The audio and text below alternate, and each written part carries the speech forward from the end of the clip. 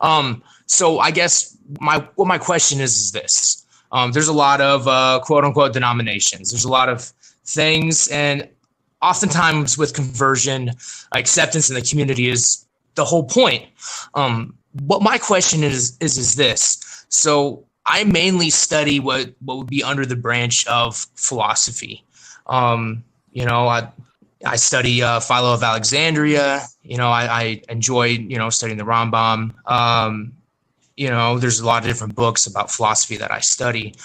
What type of uh, I guess uh, sect or um, what what type of synagogue should I be looking to go to go to? You know, uh, if I want to be accepted and instead of rejected because I don't I don't really believe in Kabbalah.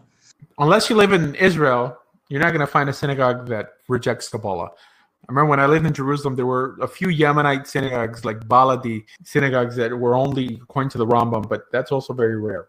I think that people who are not mystically inclined would find themselves more accepted in a modern Orthodox synagogue, even though they're also into Kabbalah, but they're not as knee deep in as Chabad would be, as especially other Hasidic groups like Satmar, Bobov, and Belz. You also would probably not feel comfortable amongst Sephardim.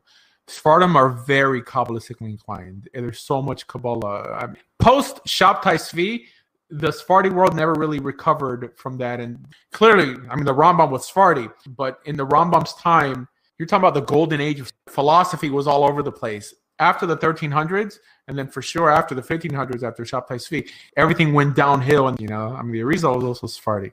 I would say more rationalistic synagogues, people who work for living. But how do you know? People are clean shaven, no long coats, no big black hats, just modern Orthodoxy. I typically define modern Orthodoxy as doing what's required and considering what's optional. That's it. I'm not saying it's bad to wear a black hat. I'm not saying it's bad to study Kabbalah.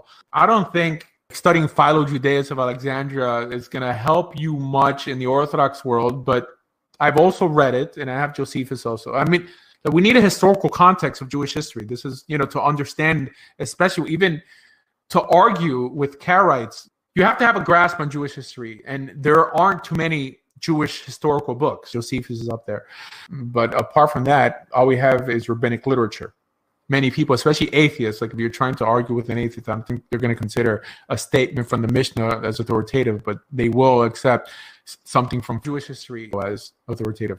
I would say a more modern Orthodox synagogue, but if you only have a Chabad, then be respectful. Go there and listen to the class. Again, you'd have to be spiritually strong, religiously strong to be able to distinguish between the nonsense. To say, you know, Rabbi, what you said is beautiful. I just, I'm not convinced of it. I'm not convinced.